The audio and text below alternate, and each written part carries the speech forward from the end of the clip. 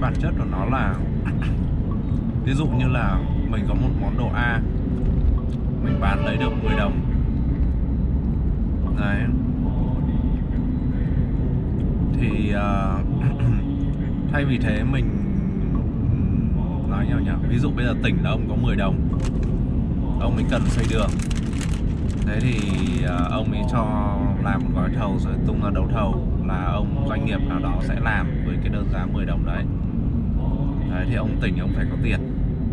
Thế thay vì thế là để có tiền thì ông tỉnh ông lại phải cầm, ông lại phải lấy đất hoặc lấy dự án, lấy một cái ưu đãi gì đó để ông đi bán, để ông lấy tiền không?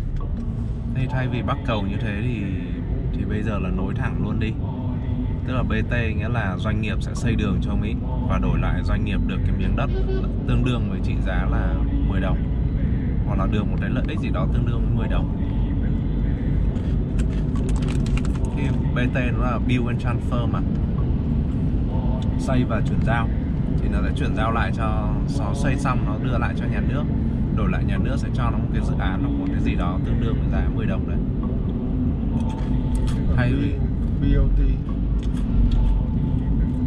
BOT BOT các cái trạm thu phí BOT này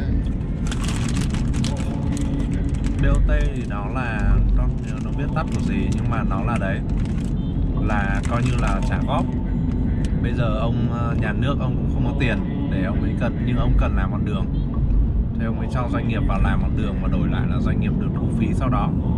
Và thêm nữa là doanh nghiệp sẽ được một cái dự án nhỏ nhỏ nào đấy.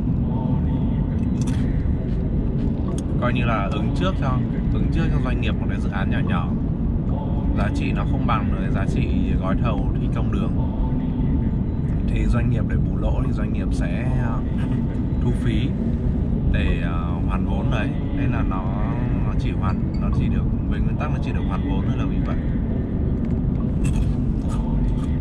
Còn à, bố đi đường cầu Việt Trì cũng nhé.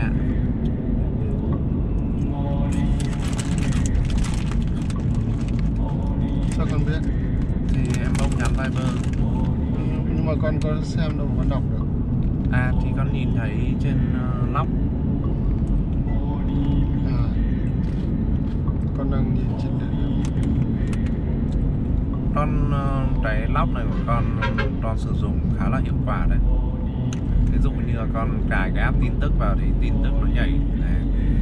rồi là bao nhiêu tin nhắn bao nhiêu email điện thoại các thứ đều con cứ xem ở trên này thôi